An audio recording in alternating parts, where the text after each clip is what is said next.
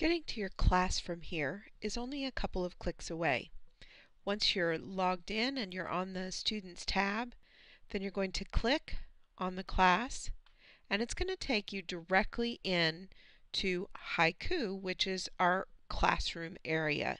You'll see your student's name, the classes that they're signed up for, and you can go directly in to whichever class you'd like. I'm going to pick a class here and you'll see that there will be tabs down the side, information about the class, a sample of the syllabus, all of the information you need. A link will be here for your student to enter class, the live class session, all of the required materials, a copy of the syllabus, information about your teacher.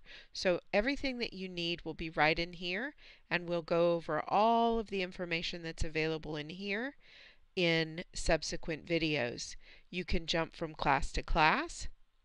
You can jump back to the portal. And one thing that I want to point out is that you, if you have more than one student taking classes from the parent account, you will need to make sure that up here you actually log out.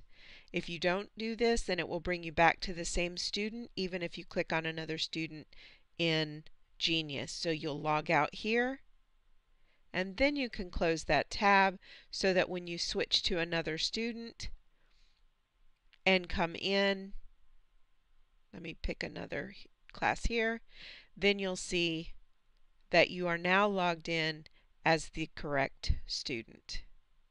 Again, make sure that you log out when you're done looking at the student's information.